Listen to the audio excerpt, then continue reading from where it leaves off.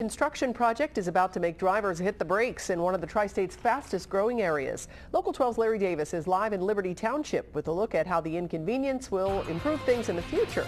Hi, Larry.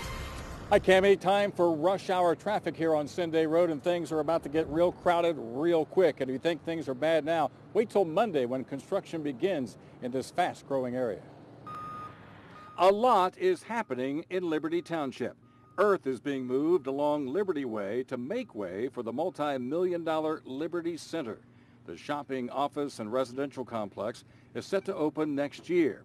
On the other end of Ohio 129, Children's Hospital is expanding its Liberty campus.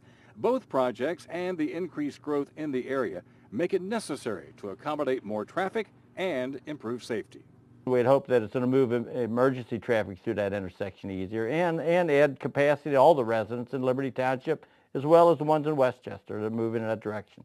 The project calls for one new lane of traffic to be added in each direction of Cin-Day Road.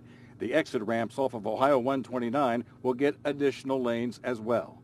And if you've ever trailed that going in the westerly direction coming off of 75 to get off on Cin-Day, you know, that traffic backs up on what we call the main line on 129 which is, is a hazardous uh, type situation.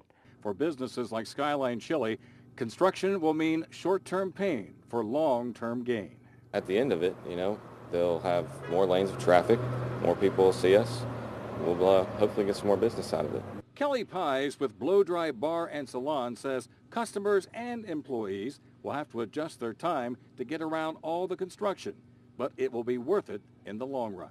It'll be great, but in the meantime, it's just, I think it's a, uh, about time management and just kind of, it's not going to be fun having to leave your house a half an hour, an hour early, but in the long term, we'll all appreciate it. Deal with it. It'll all work out in the end.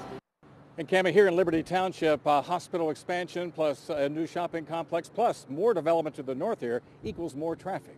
Live in Liberty Township, Larry Davis, Local 12 News. Cami, back to you. All right, Larry, thank you. And Butler County Engineers Office says that vehicle traffic has increased from 23,000 in 2003 to 30,000 in 2011. That number is expected to go even higher with the added development.